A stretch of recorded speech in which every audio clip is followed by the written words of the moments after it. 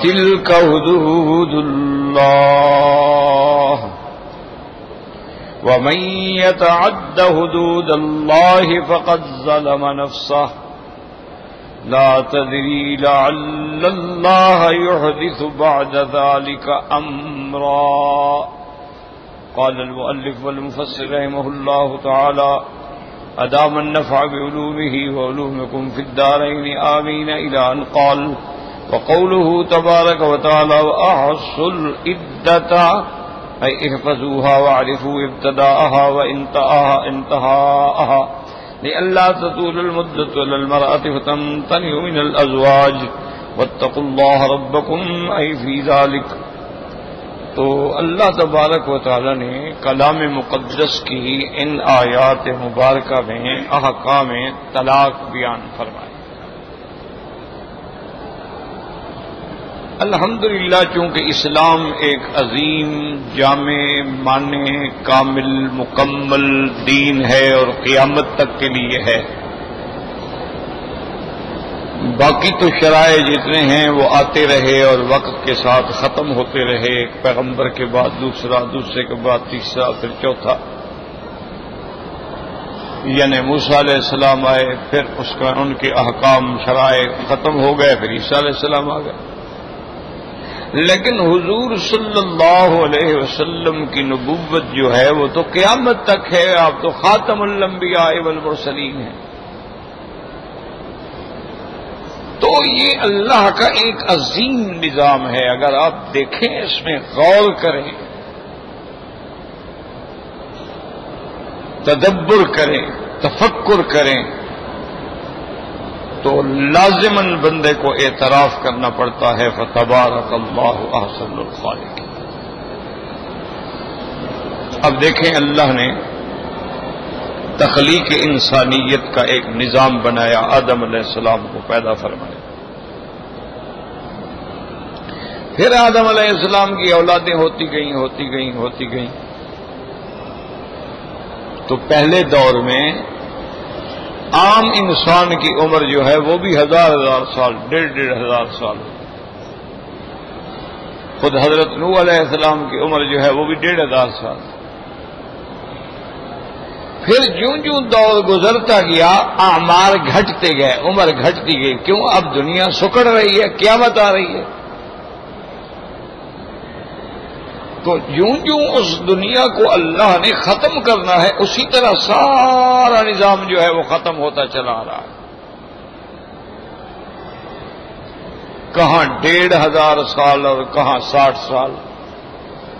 अब आम उम्र जो है वो साठ और सत्तर के दरमियान है, कोई लोग हैं जो अस्सी पे, नब्बे पे, सौ पे पहुँच गए। वरना आमार ही हजूर ने फरमाया कि मेरी उम्मत की जो उम्र है, वो माँ बहन सिद्दीन वो सभी। अब देखें, वो घटता जा इसी तरीके से जितने सबका अभियान थे, मनसूख हो गए। सबका शराय थे, मनसूख हो गए। एक है जिद जिद का तो दुनिया में कोई इलाज नहीं ना एक आदमी कहे, मैं ना मानूं, उसका क्या कर लेंगे आप? ठंडे दिल से सोचिए, आज यहूदी है दुनिया में और सबसे बड़ी ताकतवर कौम है इकतसादी तौर पर यानी इस वक्त पूरे आलम पे एक लिहाज से जो लीवर ऑफ़ इकानमी है, वो उनके हाथ में है। वो जब चाहे सोना महँगा कर दें, जब चाहे सस्ता कर दें, जब चाहे किसी मुल्क की करेंसी को तिबाह कर दें जब चाहे ऊँचा कर दें। सारे आलम को नचा रहे हैं उंगलियों पर। उनकी इतना ज़ोर है, इतना ताकत है। लेकिन आज तक वो अपनी किताब तौरात के महफूज होने के लिए कोई सबूत ही पेश नहीं कर सकते। फिर उनसे कहो, तुम्हारी किताब तौरात है, महफूज है, जैसे मूसा इस्लाम पे उतरी थी, उसी तरह। वो नहीं सबूत करते। वो खुद मानते हैं कि हजरफून अलकलम के हमारे अहबार, रहबान जो थे, वो बदल देते थे। अच्छा अभी सारी कायनात में तुम्हारे पास कोई एक तौरात का हाफिज है? एक भी पेश नहीं कर सकते। तो जब किताब ही नहीं रही, किताब का कोई हाफिज ही नहीं रहा तो शरीयत किसको याद है? खत्म हो गई। अच्छा अब ईसाई हैं, दूसरे नंबर पे, नसरानी कह लो, मसीही कह लो, ईसाई कह लो, बात एक है। वो भी इस वक्त पूरी दुनिया की एक ताकतवर कौम है। पूरी दुनिया पे जो तसलुत है, या नसारा का है, और या यहूद का है। बाकी तो गुजारे के लोग हैं ना, झींगे में रोटी खा रहे हैं, कभी उन्होंने खैरात डाल दी तो हमने दो दिन गुजार लिए। कभी खैरात बंद कर दी, हम कशकोल लेके फिर दरवाजे पे खड़े हो गया कि जनाब हम तो पुराने गुलाम हैं।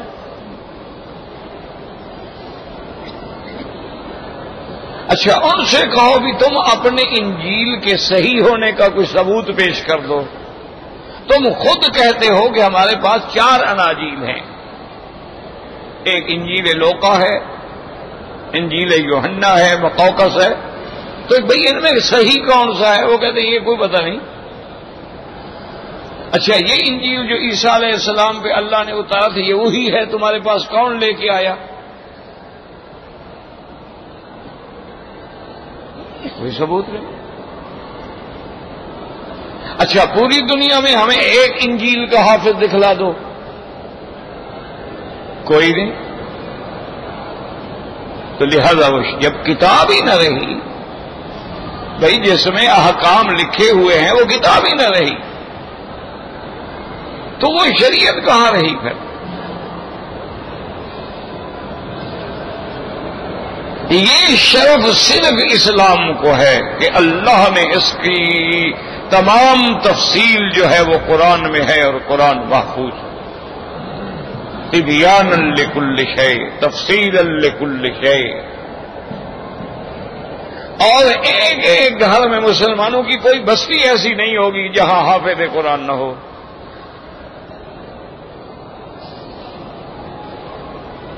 और फिर हमारे पास दलील है कि कुरान कहाँ से आया? भी जबरील लाया। किस पे आया? हजूर पे आया। हजूर पाक सबसे पहले बीबी खदीजा के पास आए। फिर सहाबा का दौर आया। सहाबा से ताबीन के पास आया। ताबीन के बाद अम्मा मुजतहदीन मुहदसिन फोकहा के बाद यानी मसलन मैं एक अदना सा तालब इल्म हूँ। मैं भी बता सकता हूँ कि भी मेरे बाप ने किससे पढ़ा है, उसने किससे पढ़ा है सीधी सनत जाएगी इमाम बुखारी तक, फिर इमाम बुखारी की सनत जाएगी साहबा तक, उनकी सनत जाएगी हजूर मोहम्मद मुस्तफ़ा तक। यानी एक एक लफ्ज महफूज है। हमारा हर कारी बता सकता है, भाई तुम्हारे पास कारी हो सनद है किरात की, तुम, तुम्हारा उस्ताद कौन है? कहेगा, जी मेरा फला उस्ताद, उसका कौन है? कौन ले जाएँगे हज़रत हफ्स तक, हज़रत आसिम तक। वो कहाँ जाएँगे? वो सीधे जाएँगे फिर साहबा तक। साहबा कहाँ जाएँगे? हुजूर मोहम्मद मुस्तफ़ा तक। तो हमारा तो एक है, किताब महफूज है, कुरान महफूज है, हदीस महफूज है सनाद महफूज है, कुरान के कुर्रा महफूज है। अच्छा अम्मा अरबा ने फिका लिखी, फिका महफूज है। अम्मा अरबा ने फिकही मसाइल पे इतिहाद किए। मौजूद है, महफूज है। एक एक जुज महफूज है। अच्छा उनका जहाँ इख्तलाफ है, वो भी महफूज है। हती कि उस्ताद और शगिर्द में इख्तलाफ है, वो भी महफूज है। फिर उनने जो मसाइल इस्तेमाल किए हैं, उनमें दलाइल भी महफूज है।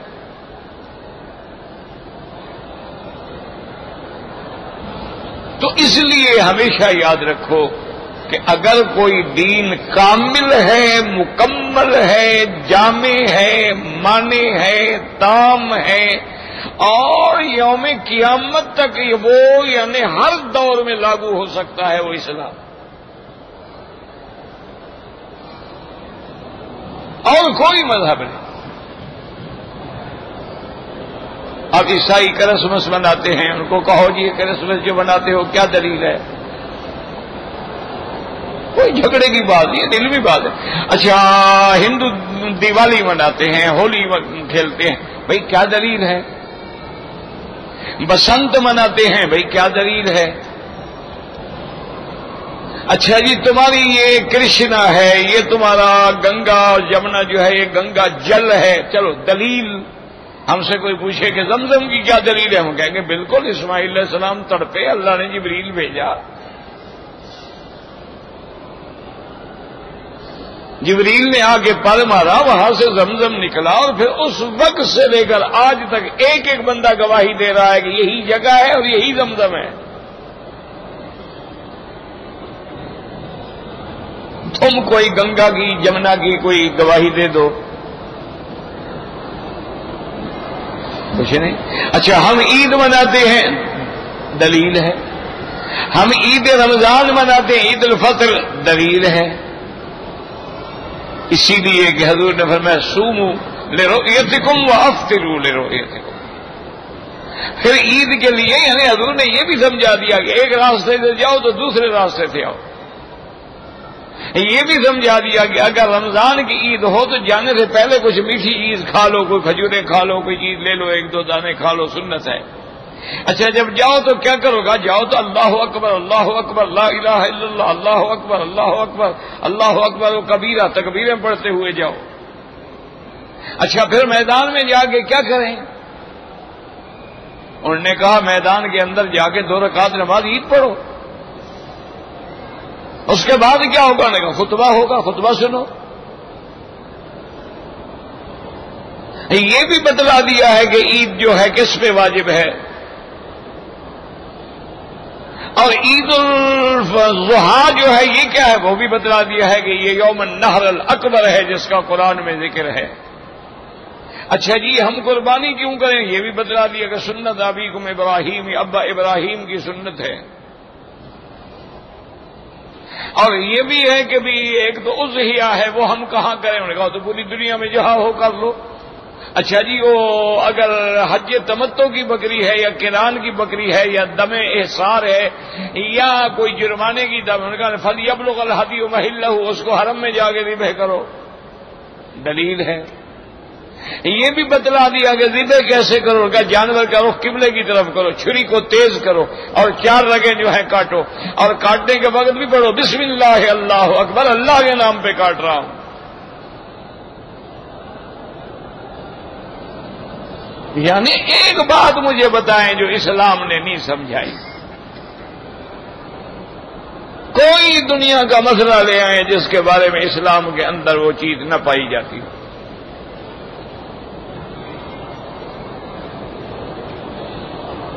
अब इन्होंने बड़ी बड़ी फिजा में उड़ने वाले जहाज़ बना लिए हैं। तो हम बता रहे ठीक है तो कोई बड़ी मुश्किल बात नहीं है।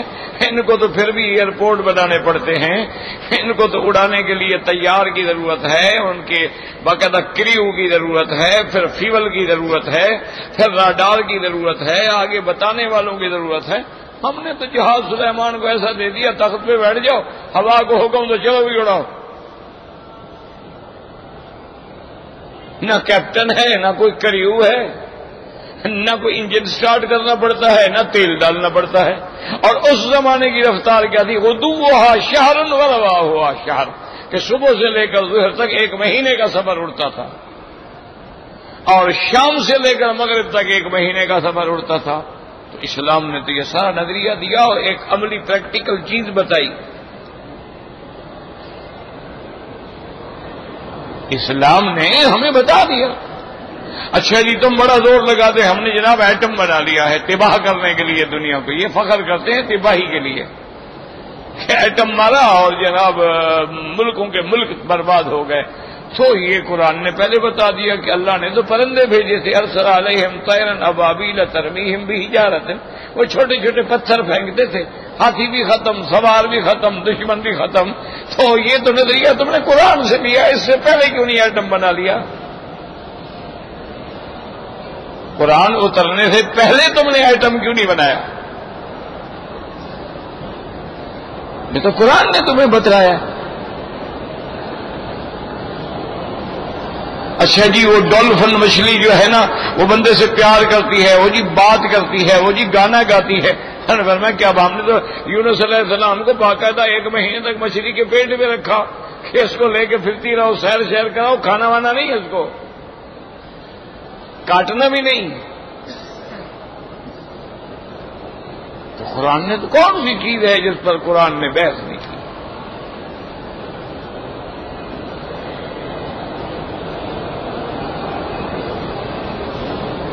यानी एक तरीके आपको बैठे बैठे शीख आ जाती है। इस्लाम कहता है, कहो, अल्हम्दुलिल्लाह।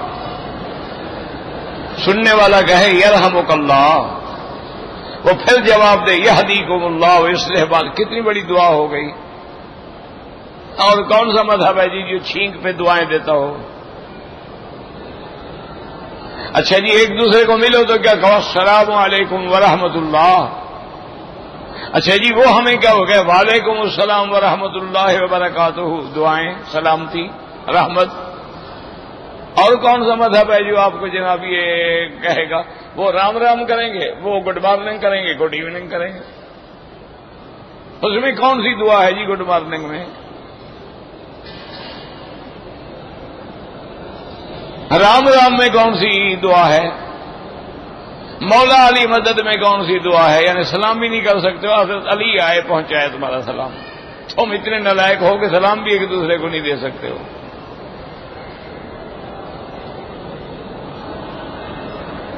तो इसलिए याद रखें कि पूरे आलम में जो सबसे पहली तहजीबें हैं, जैसे रोमन एम्पायर थी, तहजीब यूनान थी, तहजीब फारिस थी, तहजीब मिस्र थी और आज तहजीब यहूद है, तहजीब नसारा है, तहजीब हिंदूज है, किसी में निकाह तलाक का ऐसा जाम माने नुस्खा नहीं है अल्लाह के इस्लाम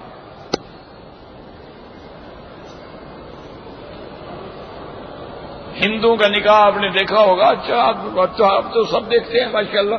अब तो हमारे दाढ़ी वाले बुज़ुर्ग जो हैं, ये भी टीवी पे शाम को देख लेते हैं। ऐनक चार नंबर की हो, लेकिन टीवी पे मैं जा रहा नज़र इधर उधर हो।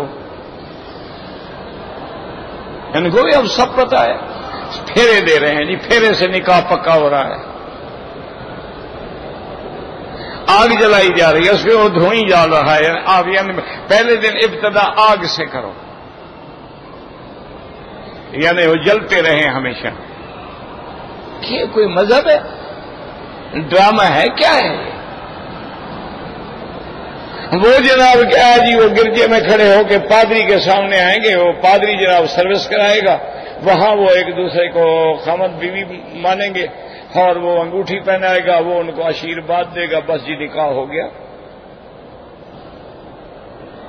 और निकाह उनका ऐसे पक्का होता है कि दुल्हन अभी हुजला रूसी में होती है तो खामद किसी और घर में चला जाता है और बीवी किसी और घर में चली जाती अच्छा कल मिलेंगे। मेरा जरा एक बॉयफ्रेंड के साथ आज डेट है। ये इस्लाम है, वो कहता है, नहीं, रिश्ता करो, हजूर ने फरमाया, इख्तारू लेनो तो फिकुम ढूंढ के अपनी औलादों के रिश्ते करो, किसी अच्छी बाइज्जत खानदान में करो, पाक लोगों में करो, दीनदार लोगों में करो, माँ दीनदार होगी तो बच्चा इंशाला दीन वाला बनेगा। इस्लाम हुक्म देता है कि नहीं, बाकायदा ईजाब हो, कबूल हो, खुतबा हो, गवाह हो।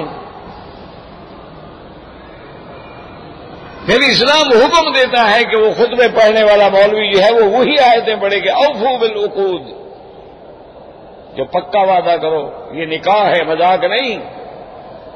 हक्कल महर भी मुहैयन करो, ये नहीं है कि लोगों की लड़की को तुम ऐसे मुफ़्त दे के आ रहे हो, कोई तो हदिया मुकर करो ना। अच्छा अब हो गया है तो उसका ऐलान भी हो। हो गया है तो शादी जब एक रात गुजर जाए, उसके बाद दूसरे दिन या तीसरे दिन या चौथे दिन वलीमा भी करो, दोस्तों को बुलाओ, पता लगे कि इसकी बीवी है, शादी की है इसने।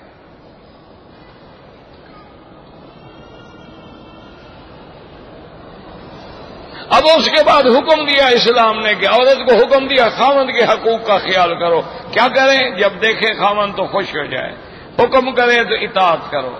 घर से गायब हो तो उसकी इज़्ज़त और दौलत की हिफाजत करो। खामद को हुक्म दिया, तुम्हारे हाथ में ये कैदी है औरत। अल्लाह ने एक कलम इस्लाम में तेरे लिए हलाल की है। इसको आराम पहुंचाओ, इसको सुकून पहुंचाओ, इसका सुकना, नफका, खाना, पीना, अपनी ताकत के मुताबिक इंतज़ाम करो। ये तुम्हारी ज़िम्मेदारी है, एहसान नहीं है कि उसको खिला रहे हो। तुम्हारे ऊपर फर्द है। बलहुन्न मिथिल्लदी अलहिन्न बिलमारूफ। कितनी बड़ी शान दी अल्लाह ने औरत को कि अगर कोई मर्द अपनी औरत की इज़्ज़त बचाने के लिए डाकू से लड़ पड़ा और मारा गया, फिर मैं शहीद हो गया है। अपनी बीवी की इज़्ज़त बचा रहा था। अंग्रेज़ हो, काफिर हो, क्या क्या होगा कि यार ठीक है, तुम भी एंजॉय कर लो, क्या फ़र्क पड़ता है? प्याली है ना? मैंने पी ली, फिर धो के तुम पी लो। बस। ये तो इस्लाम है ना कि मन कुतल दून रही औ माल ही। अपने माल की हिफाजत के लिए, अपनी इज़्ज़त की हिफाजत के लिए अगर मारा गया तो शहीद। अब देखें फिर इस्लाम ने हुक्म दिया, भाई निकाह हो गया तो खबरदार तलाक न देना। निकाह ज़िंदगी गुजारने के लिए होता है, लज्जत उठाने के लिए नहीं होता। गैर मुसाफिहातन, वला मुतखजात अखदान। ये नहीं कि तुम लोगों की लड़कियों से निकाह करके चस्का लेते हो, फिर महीने के बाद छोड़ देते हो, फिर और ढूंढते हो, पैसे हैं तुम्हारे पास। हाँ खबरदार ये, कोई निकाह नहीं।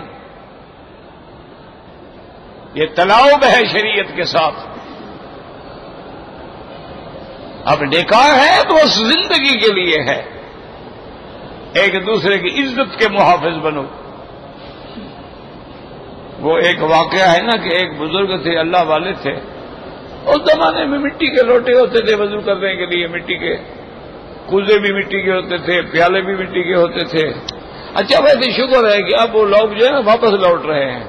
अब बड़े बड़े five star seven star hotel जो है ना, वहाँ भी आइसक्रीम मिट्टी के प्याले में देते हैं। हम गरीब दाल खाते थे, अब ये बड़े आदमी भी अल्लाह का शुक्र है मलगटूनी सूप जो है वो दाल का सूप होता है। वही आ जाएँगे फिर के। हम गरीब बेचारे बसरों की और लहसन की चटनी बना के रोटी खा लेते थे, अब ये कहते हैं, लहसन तो ब्लड प्रेशर को कम करता है, तुम्हारे दिल की हिफाजत करता है। उसके कैप्सूल बन रहे हैं, और उसके माजून बन रहे हैं, और उसके अचार बन रहे हैं, और क्या क्या भी, बस लहसन खाओ जी। हमारा गरीब बेचारा बसल को तोड़ता था ऐसे। कच्चा बसल। ऐसे तोड़ा और रोटी खा ली बस।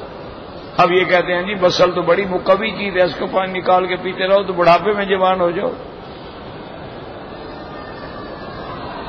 अब इनको समझ आई है। इस्लाम कहते हैं, खबरदार तलाक नहीं देनी। अच्छा अगर तलाक बिल्कुल न होती तो ये भी तो जुल्म था ना बंदे पर कि तलाक वो दे नहीं सकता। बीवी बेचारी हकूक दौजियत अदा करने के काबिल नहीं रही। उसको टीबी हो गई, ये जाए तो इसको भी टीबी हो जाएगी। उसको मुतदी बीमारी हो गई। या बेचारी का हमल ठहराने की कुवत जो थी, वो खत्म हो गई। इसकी औलाद नहीं है। या ऐसे दिलों में नफरतें पैदा हो गई तो क्या करे? अल्लाह ने निकाह भी रखा, तलाक भी रखा। अब बाद मुआशरे आपके यूरोप में ऐसे हैं कि वहाँ आप तलाक नहीं दे सकते। अच्छा अगर तलाक देना, पता है क्या आधी जायदाद तुम्हारी बीवी को देनी पड़ती है। आधी जायदाद। इसलिए वहाँ जो लोग रहते हैं ना तो वो अगर न्यूयॉर्क में या न्यू जर्सी में निकाह हो तो वहाँ शर्तें बड़ी सख्त हैं। वो फिर लास विगास चले जाते हैं, बड़ा कम जरा नर्म है वहाँ। अच्छा बाद जगह तो है कि तलाक दे ही नहीं सकता। बाद जगह तलाक तो दे सकता है, लेकिन आधी जायदाद उसको दे। अच्छा बाद जगह कानून है कि तलाक दे दे, लेकिन तलाक के बाद भी बीवी का खर्चा वही शोहर देता रहेगा। रहेगी किसी और के साथ, खर्चा ये देगा शरीफ। ये कौन सा कानून है भाई? अकल के अंधे। उसने तलाक दे दी है, उसने दूसरी शादी कर दी है, वो दूसरे के घर आबाद हो गई है, वहाँ वो अपने ऐश कर रही है खर्चा तुम दे रहे हो। यानी उससे भी ले इससे भी ले, एक टक, यानी एक टकट में दो तमाशे देख रही है वो। इसलिए वहाँ लोग मरते मरते मर जाते हैं, झगड़े कर लेते हैं, पहले तो निकाह नहीं करते, कहते नहीं बस एक गर्लफ्रेंड के तौर पर रहो एक दूसरे के साथ। कहती है, जी, मेरा बॉयफ्रेंड है उसका मेरी गर्लफ्रेंड है बीस बीस साल गुजर जाते हैं, औलादे भी हो जाती निकाह शिका नहीं होता। वो कह रहे कहते अभी हम एक दूसरे को देख रहे हैं, समझ रहे हैं। बीस साल हो गए, बूढ़े हो गए, चार बच्चे हो गए, पागल के बच्चे समझ रहे हैं। जब तुम इतना कुंद जहन पलीद हो, नाकाम हो अच्छा और कहीं अगर तलाक देनी भी होगा तो ठीक है, मैं मर जाऊँगा तलाक। क्यों? आधी ज़्यादा देनी पड़ेगी। पहले बैठी रहो मैं नहीं देता तलाक वो फिर कोर्ट में जाएगी, वहाँ फिर लाखों खर्च होंगे। इस्लाम कितना प्यारा मज़हब है। फरमाया, निकाह भी कर सकते हो। अगर अदल करो तो फिर एक, दो, तीन, चार बीवियाँ भी रख सकते हो। शर्त यह है अदल का। सबका खर्च बराबर दो, लिबास बराबर दो। हमने देखा है अरब में, माशाल्लाह, अल्लाह इनको खुश रखे। क्योंकि यहाँ इस्लाम है ना जी।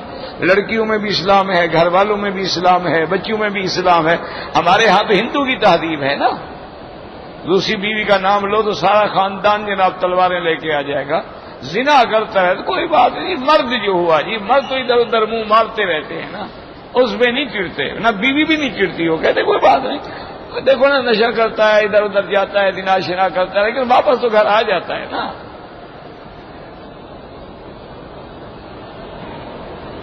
इस्लाम देखें कि कफरा नहीं। अगर तुम करना चाहते हो फन की हु बाता वलकुमिन निसा मतना व सुलासा व एक रखो, दो रखो, तीन रखो, चार रखो। खुदा की शाम देखो, अल्लाह ने फिर ये नहीं कहा, वाहिद इतने सलासा अरबा। तुम्हें वाहिदतन, मसना सुलाद यानी दो कट्ठी भी रख सकते हो। ये माना नहीं है कि दो कमाना है कि एक मरे तो फिर करो। तीन कट्ठी भी रख सकते हो, चार कट्ठी भी, इसलिए फिर मैं मसना वसुला था वरुबा। हाँ भाई इन खिफ तुम अल्लाह तादिलू। अगर अदल न कर सको, फिर एक से गुजारा करो।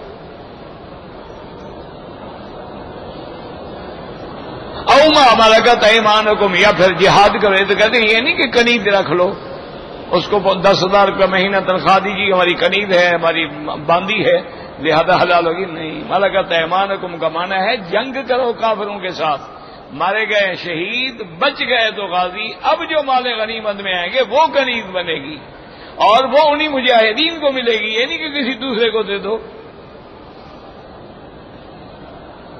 ये थोड़ा है कि बांदियाँ रख लो जी, बांदियाँ इस्लाम में, बांदियाँ इस्लाम में, बांदियाँ।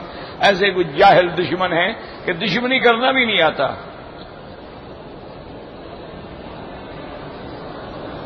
जैसे हज़रत रहमतुल्लाह ने वो है ना किताब शीयत के खिलाफ तोहफा इतना शरिया और इसी तरह इजालतुल खिफा तो उसमें बुज़ुर्गों ने लिखा है कि ये शिया इनको तो खुद एतराज़ करना भी नहीं आता। असल एतराज़ तो यूँ था एतराज़ भी खुद बना के देते हैं।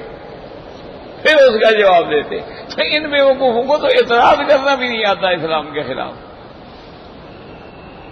हो जी, बांदियाँ, हो जी बाँध वो खुदा के बंदे जब जंग होगी, एक फतह करेगा, एक फाते होगा, एक मफतू होगा। अच्छा अब जो कैदी आ गए, इनका क्या कहे शब्द बार दो।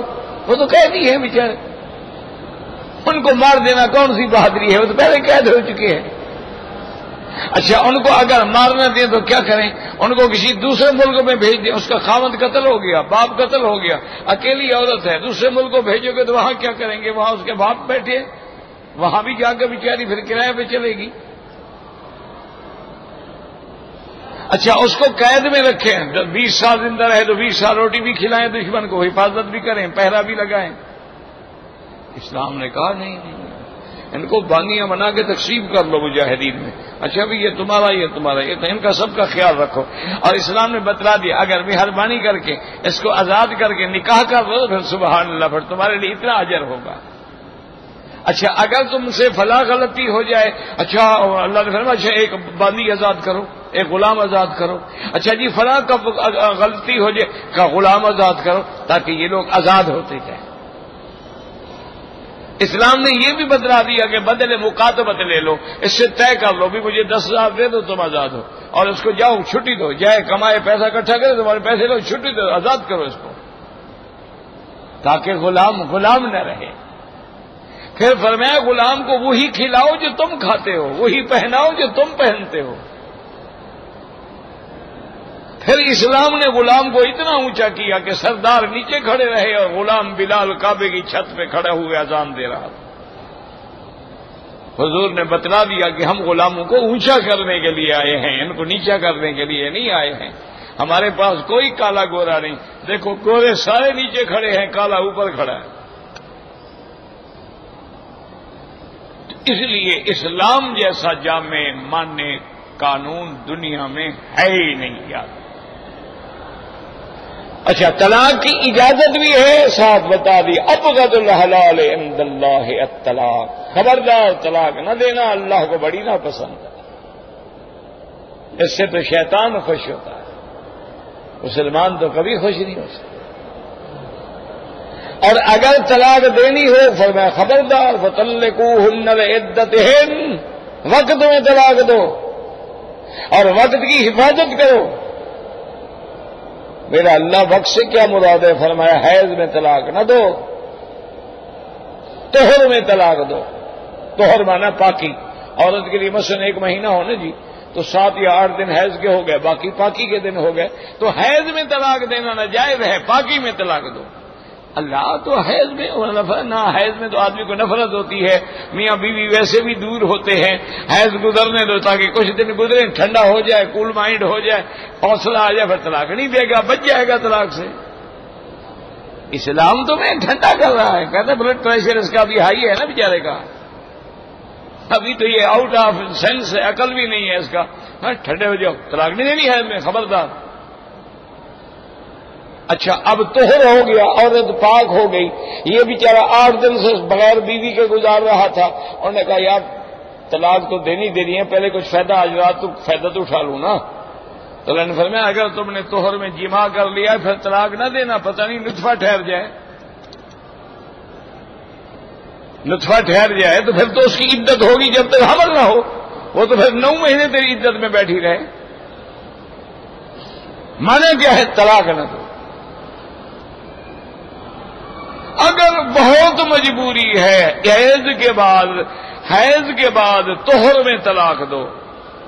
तोहर और वो तोहर जिसमें जिमा न हो, और तलाक भी एक दो, ताकि स्लो हो जाए तो रजू तो कर लो ना। ये तो नहीं कि पहली दफ़ा तीन गोलियाँ मार दो, किस्सा खत्म हो जाए, जान छूटे। एक तलाक दो सिर्फ़। अच्छा जी, फिर क्या होगा? उन्होंने कहा अच्छा अच्छा जी, अब मैंने तो तलाक दे दी औरत कहाँ जाने कहा, तेरे घर में रहेगी, उसी का तो घर है। इतना अरसा इसी घर में रही है। अब तलाक दे दी है तो कहते, निकल जाए क्यों? तुम्हारी ज़िम्मेदारी है, क्योंकि इद्दत में तुम रजू कर सकते हो। तो लिहाजा खर्चा, कपड़ा, रोटी सब तेरे जिम्मे है, तुम्हारे घर में रहेगी वो। मकसद इस्लाम क्या है? भी आमने सामने होगी तो फिर स्लो भी तो हो सकती है ना। अगर आँख उछल तो फिर तो पहाड़ उछल अगर वो अपने माँ बाप के घर चली गई, अब नज़र ही नहीं आती। तो फिर आदमी के जज्बात तो वो नहीं रहते। अब सुबह आता है, देखते ही, यार, मेरी बीवी मेरे लिए हलाल थी। मैंने क्या बेवकूफ़ी की तलाक देते, अपने हलाल को हराम किए बैठा हूँ? अल्लाह फरमाए सुलो कर लो, रजू कर लो। अच्छा मेरा अल्लाह मियाँ, रजू के लिए कोई स्टाम लेना पड़ेगा? बोले, कोई स्टाम नहीं, बस कह दो, मैंने रजू किया। बीवी के साथ लेट जाओ, बस रजू हो गया। दो दोस्तों को बता दो, यार मैंने तलाक दी थी, मैंने रजू कर लिया ताकि कल को कोई झगड़ा ना हो। वरना कोई प्रोपगंडे करने की ज़रूरत नहीं, दुनिया को बताने की ज़रूरत नहीं कि मैंने तलाक दी थी। क्यों बेइज्जती करवाते हो अपनी? अगर दूसरी तलाक देनी है, फिर इंतज़ार करो। औरत को हैज़ आए, फिर पाक हो, फिर तलाक दो। जब ये दो महीने गुजरेंगे तो ठंडा नहीं हो जाएगा दिमाग। अच्छा अब स्लो कर देंगे रजू कर लो।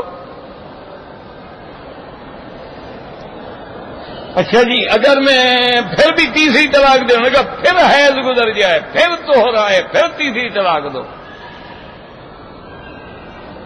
अब उन्होंने कहा, अब बात खत्म हो गई, अब तुम्हारे पास बीवी वापस नहीं आ सकती। अब तलाक मुगल्लदा है और कत की तलाक। अब देखो, पहली तलाक के बाद रजू हो सकता है कि नहीं? दूसरी के बाद हो सकता है, तीसरी के बाद नहीं हो सकता अगर तीन है ही एक तो फिर तो रजू हो सकता है, फिर ना हो सकने का क्या माना? यानी अगर वक्फे वक्फे से दे, फिर तो नहीं हो सकता। एक दफ़ा दे तो फिर हो सकता है। एक अजीब बात है। यानी एक एक चक्कर रोज करो, सात दिन में तवाफ तो मुकम्मल हो जाएगा, लेकिन एक दिन में सात चक्कर कर लो तो फिर नहीं होगा। अच्छी अच्छी बात है भाई। वैसे हम उन पे एतराज़ नहीं करते, उनका भी इतिहाद है। वो तहदीन है ओलमा है, लेकिन जमहूर यही कहते हैं कि तीन तीन। और इस्लाम ये भी कहता है कि तीन न दो दे रहे हो, बिदत है, गुनाहगार हो तुम। हैज़ में तलाक न दो लेकिन दोगे तलाक हो जाएगी। ये नहीं हो जी, हैज़ था, तुम्हें पहले फ़िक्र नहीं था, अब बताने मौलवी को बताने के लिए आ गए हो। और जी, मैंने जब तलाक दी है ना, मुझे पता है उसको हैज़ था। अच्छा माशाल्लाह। और जी, तलाक हो गई, तुम गुनाहगार हो। तुम्हें तलाक नहीं देनी चाहिए थी। दे दी तो हो गई।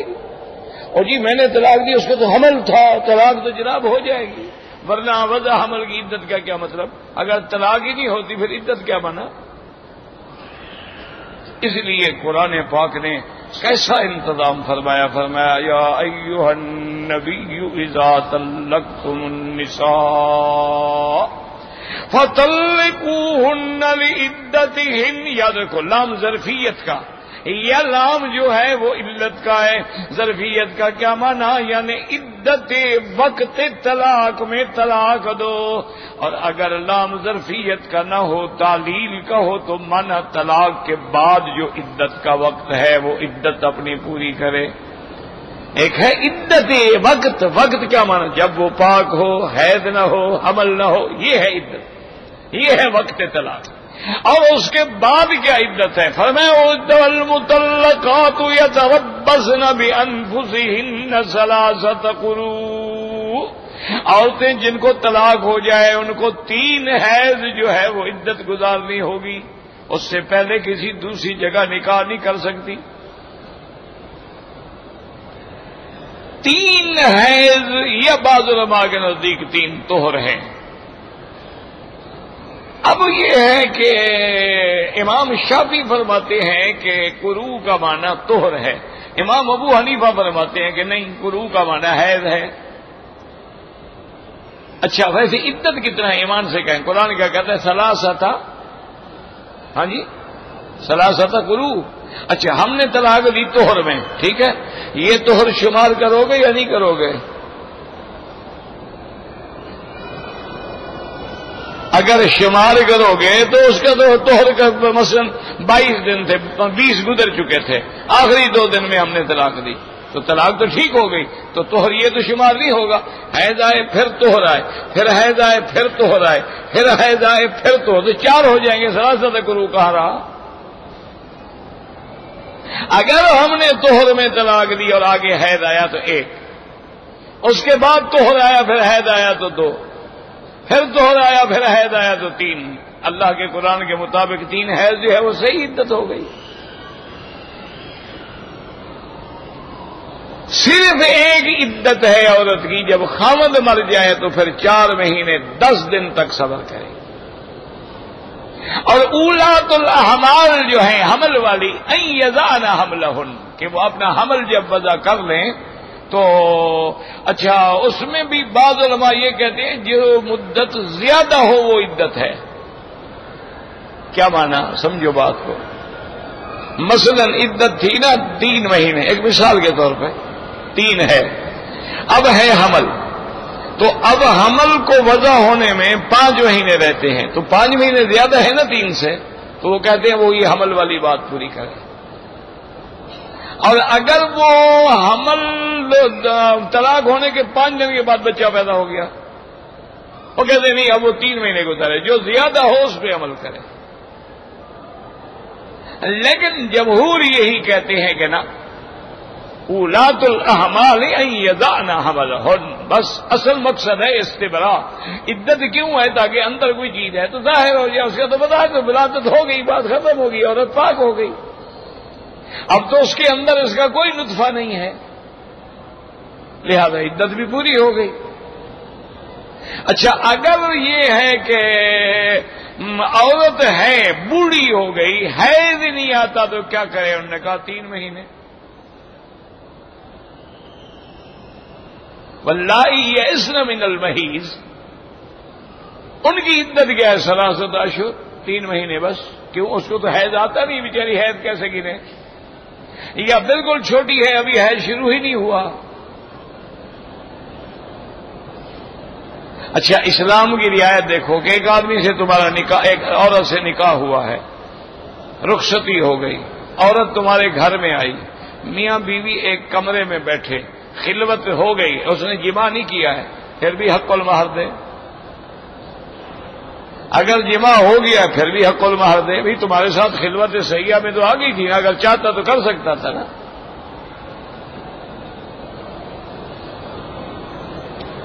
तो इसी तरह हमेशा याद रखें कि कुरान ने पाबंदी लगाई कि वह आहसुल इद्दता आहसू याद रखें। एहसा का माना क्या होता है?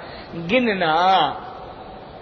देखते नहीं एहसाइयात। मजमून होते हैं किताबों में, जिसको आप कहते हैं शुमारियात। एहसा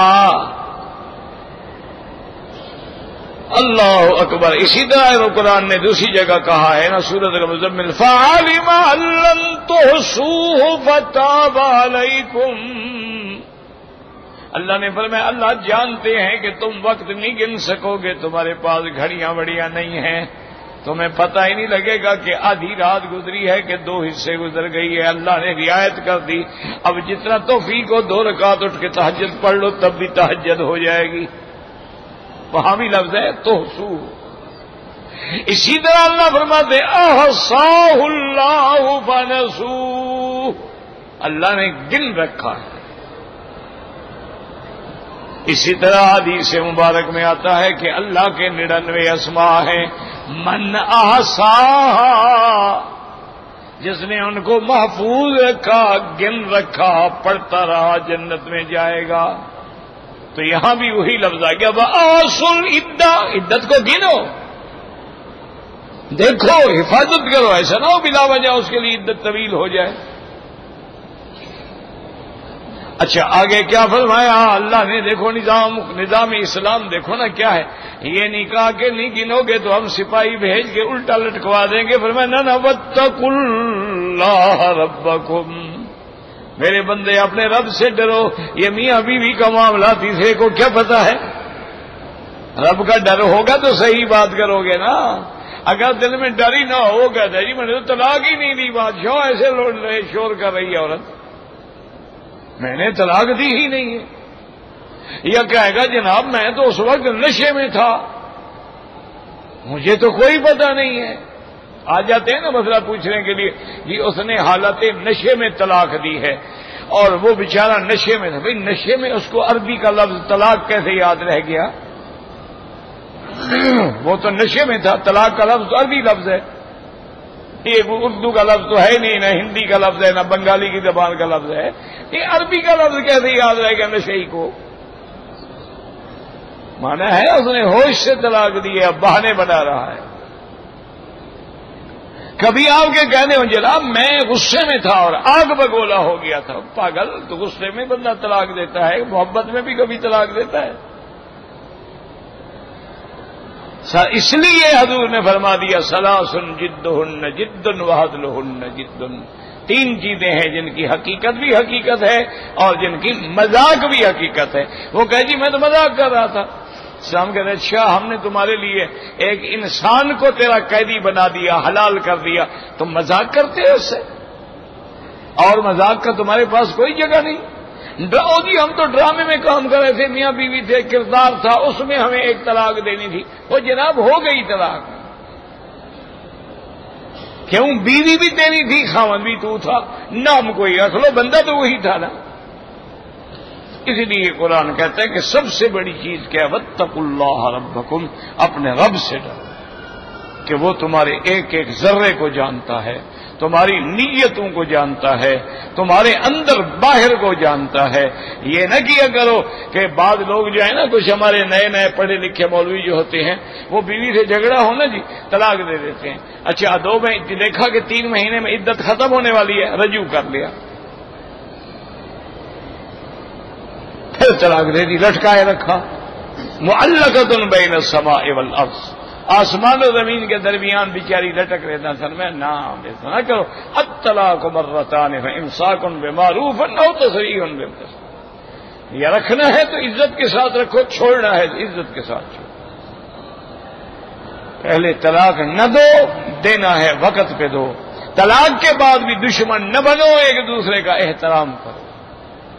इसलिए कुरान पाक ने सबसे बड़ा हमें हुक्म यही दिया है, अल्लाह उस पर चलने की हमें तौफीक दे।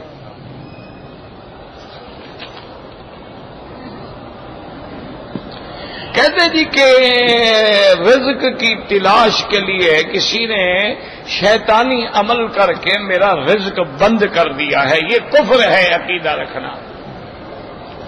रिज्क बंद करना खोलना अल्लाह के हाथ में है, किसी शैतानी अमल के पास नहीं। अल्लाह हो जब सुतर करे मई शाह हो यकदिन ये होता है बड़े बड़े मुल्क हैं, देखो घाटे में आगे बर्बाद हो गए बड़े बड़े बैंक हैं, दिवालिया हो गए, उनको किसने बंद किया है? ये होते रहते हैं। बाकी रिज्क के लिए सबसे अफजल अमल जो है, ज़्यादा से ज़्यादा इस्तफार करो। अस्तक फिरुल्ला अस्तक फिरुल्ला अस्तक फिरुल्लाह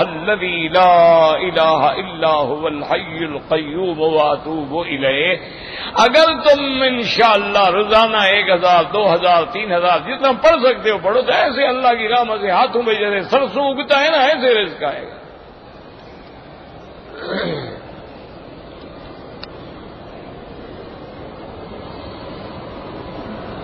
अगर आदमी का सतर खुल जाए, वज़ू नहीं खत्म होता। चादर गिर गया तो वज़ू भी गिर गया। ये अच्छी बात है भाई।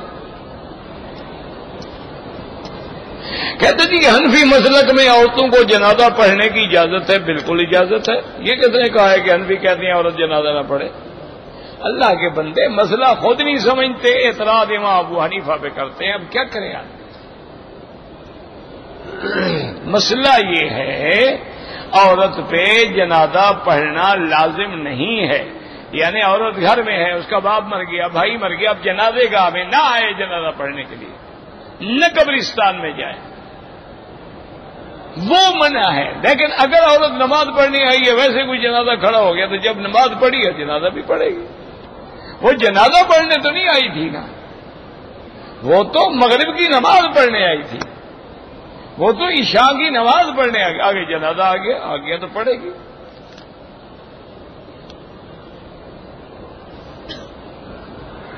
मैं जन, जानना अच्छा जानना चाहता। नज़र लगती है बिल्कुल लगती है। अलैन हक्कुल नज़र हक है। बिल्कुल लगती है नज़र। इसीलिए तो हज़रत याकूब अलैहिस्सलाम ने अपने बेटों से कहा था कि ला तदखलू मिन बाबिन वाहिदिन वदखलू मिन अबवाबिन मुतफर्रका। क्या है मेरे बेटे, जब मिस्र में जाओ ना, एक दरवाजे से ना जाना। क्यों? ग्यारह शहजादे जब जाएँगे तो नज़र तो लगनी लगनी है ना। कोई उधर से जाए, कोई उधर से जाए, कोई उधर से जाए। वो नज़र से बचाने के लिए कह रहे इलाज ये है, अगर तुम्हें पता है कि इस बंदे की नज़र लगी है। तो उसको कहो किसी बर्तन में खड़े होकर गुसल करे, वही पानी नज़र वाले पे डाल दो, एक मिनट में ठीक हो जाएगा। और अगर तुम्हें पता ही नहीं है तो फिर इलाज जो है, आखिरी आयात जो है ना कुलौद रबिल फलक कुलौद रबिन नास आयत कुर्सी, और इसी तरह सूरत वल कलम की आखिरी आयत व वहीं यकादुल्लदीन कफरुलयुद्रकून कब अबसारिहिम लम्मा समय ज़िक्र, आखिर तक ये पढ़ के दम करें, कोई दूसरा दम करे, वो खुद दम करे, अल्लाह ताला की रहमत से उसके असरात जो हैं, वो चले जाते हैं। नज़र है? अच्छा बाद लोग अल्लाह माफ़ करे, इसमें बड़े खतरनाक हद तक मुबतला होते वो तो किसी चीज़ को देखे मत देखा तो गया अगला गरीब बेचारा। अल्लाह तबारक वाली माफ़ है हमारे एक इलाके में एक बस्ती थी, अभी है। वो पूरी बस्ती वाले नज़र लगाते हैं। उनके हर बंदा जो है ना, अल्लाह दुश्मन को भी सामने न लाया आया तो वो समझो, गया बेचारा। अच्छा वो आपस में भी नहीं छोड़ते। एक दिन जो आ रहा था ना, उस घोड़े पर तो उसका रिश्तेदार था कह रहा है संभालना घोड़ा घोड़ा है जनाब। गिरा उसी वक्त, गया, खत्म। वो भी इंतज़ार में था। वो एक दिन भैंस लेके आ रहा कह रहा यार, भैंस तो नीली की है, वो भैंस वही मर गई। उन्होंने कहा तुमने घोड़ा मारा था, ये बदला हो गया, इनका ख्याल रखना। अच्छा इलाज ये है, जिस बंदे की नज़र लगती हो ना, उसको आदत बना ले कि जब किसी भी नज़र पड़े, फ़ौरन कह सुबहान अल्लाह या माशा अल्लाह लाहौल कुत बिल्ला अच्छा तुम्हें पता होगी इस बंदे की नज़र लगती आ रहा है, अल्लाह अकबर। तो कभी नहीं लगेगी, जो मर्ज़ी, उल्टा भी लटक जाए, कुछ नहीं होगा। हजूर को नज़र लगाने के लिए काफरों ने एक खास आदमी बुलाया था। वो सात दिन भूखा रहा हजूर पा को नज़र लगाने के लिए। क्योंकि भूखे की ज़्यादा लड़ती है, भूखा बटेरा ज़्यादा लड़ता है ना। तो बहरहाल अल्लाह ने हिफाजत की। नज़र हक है, बचने की कोशिश किया करो। देखो, कहो, माँ, इसीलिए अरब को देखा है आपने। किसी का बच्चा देखेंगे, किसी का कपड़ा देखेंगे माशा माशा माशा ताकि कभी नज़र किसी की गाड़ी देखेंगे तो सुबह अल्लाह माशा माशा माशा अल्लाह बारिक रख, अल्लाह वाफत हमारे तुम्हारी गाड़ी बस किया करो तो किया, बेचारा ना जी। ये तो अल्लाह का अजाब है, चलते फिरते हुए। इनका इलाज ये है, इनको देखो तो फ़ौरन कहो, ला हौला वला कुत इल्ला फूंक मार दो, इंशाल्लाह कुछ भी नहीं होगा। अल्लाह का नाम ले लो, कुछ भी है तो अल्लाह अकबर। ये अल्लाह अकबर आलई कोई भी, यानी अल्लाह का कोई नाम ले फिर उसकी नज़र नहीं लगेगी इंशाला वल्लाह आलम रबना तकबल मिन्ना इन अंत समील अलीम। तुब अलैना इन अंत तवाबुररहीम अल्लाह फरज हमल महमूमीन। नफस करबल मकरूबीन। वक़ दिन अनिलमदीन वशफिना वशफ मरदाना व मरदलमसलिमीन रबना आतना फिदुनिया हसनतन वफिल आखिरत हसनतन फ़किना अजाबन्नार। सल्लल्लाहु अला खैर खल्क़िही सय्यदना मुहम्मद व अला आलिहि व सहबिही अजमाइन